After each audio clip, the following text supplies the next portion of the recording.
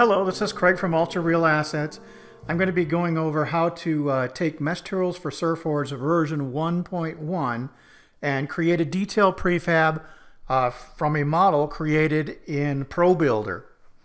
So, to start with, uh, we need to uh, let's look at the UV space here. What I typically like to do when I create these prefab tools is I will put a reference out here. So I'm just going to take one of these out here and we want to make something that's roughly that scale. And I'm going to build, use ProBuilder and build right on the UV space.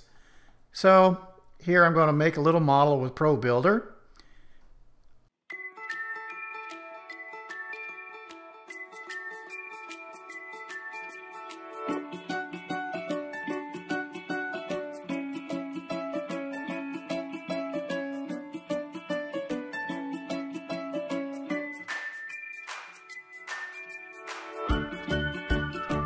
So I've made a little hatch element. And uh, before I can use it in Surforge, uh, what I'm going to do is go to the materials panel here.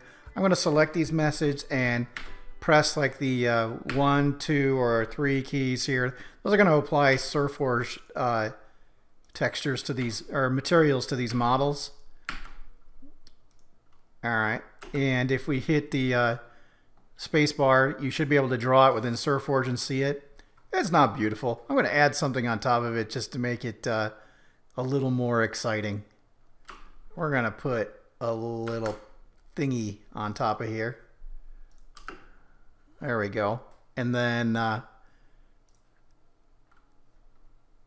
maybe some kind of indent or something. Let's see what we got. There we go. That's much prettier. All right. So now we're going to turn this into a detail prefab. And uh, it's it's pretty easy. And in fact, it's the exact same process as you did for the uh, just the single detail prefab creation. You just want to go in here and highlight everything. And the shortcut for the group feature is Control G. So hit Control G, and it'll ask if you want to group and We'll hit yes. And then under the root, it's going to create this new detail prefab group. And we're going to call it I'm going to call it Pro Builder Thing. Zero, zero. All right, so in order to save this as a detail prefab, we just right click as usual and save as detail prefab. And I'm to put it up here and let it export it. Okay, and then uh, we need to save the project and reopen the project. And now in our detail prefabs down here, we should see the new one. There it is right there. We can put it out there just as expected. And it will show up